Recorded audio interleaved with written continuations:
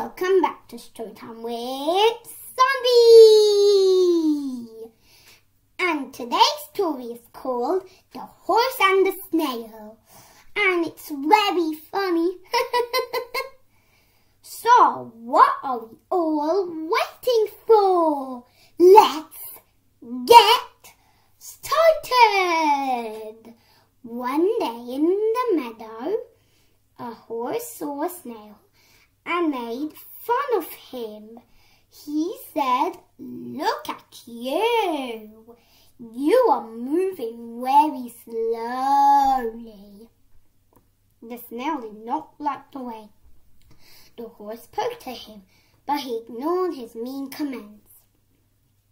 But the horse went on and on. He again said, Mr. Snail, where are, why are you going so slowly? And when do you think you'll reach the destination you're going to? Ha ha ha! Then Snail replied, I don't understand why you need to make fun of me all the time. But the horse continued to mock. Well, you take forever to go anywhere. I will run miles in that time. Ha ha ha! The snail was annoyed and said, I suggest we both mind our business and don't interfere in each other's life. But the horse won't stop and he said, You know what? I have an idea. Let's have a running race. The snail thought about it for a moment and he got a brilliant idea. So he said, Okay, sure, let us do that. How about this Sunday morning? Horse agreed too. Okay, we'll rest this Sunday. After the horse had left, the snail had gathered all the other snails and told them what had happened earlier. And they all came up with a plan to teach the arrogant horse a lesson. On Sunday, they met very early in the morning. The snail announced, Okay, everyone, listen carefully. Spread out from the starting point to the ending point of the race course. Also remember to hide all along the race track. And so the snail spread out. And when it was time for the race, the, the horse arrived. Soon the race started. The horse took off, striding after a while. He looked down and he was surprised to see the snail right in front of him. The horse asked surprised, How did you get here? And run faster.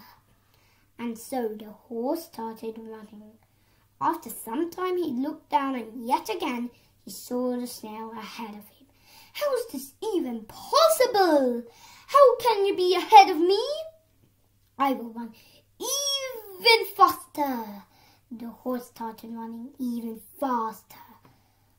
When he looked down again after some time, he saw the snail there again. And he exclaimed, This is impossible! I will run the fast as I can. And now the horse took off as fast as he could. As he neared the finish line, he looked down and saw a snail crossing the finish line. The tired horse gave up. I am so sorry. I underestimated you and made fun of you. Please forgive me for my arrogance. The horse apologized to the snail. All the snails were hidden along the race course fooled the horse into believing that they were the snails, same snail that was racing him. They all heard us and laughed quietly from their hiding spot. Moral of the story. Sometimes you should use your brain instead of muscles. Well, that's the end of this wonderful story. Well, if you like this, make sure to check out one of my YouTube channels, Storytime with Saanvi, for more, more such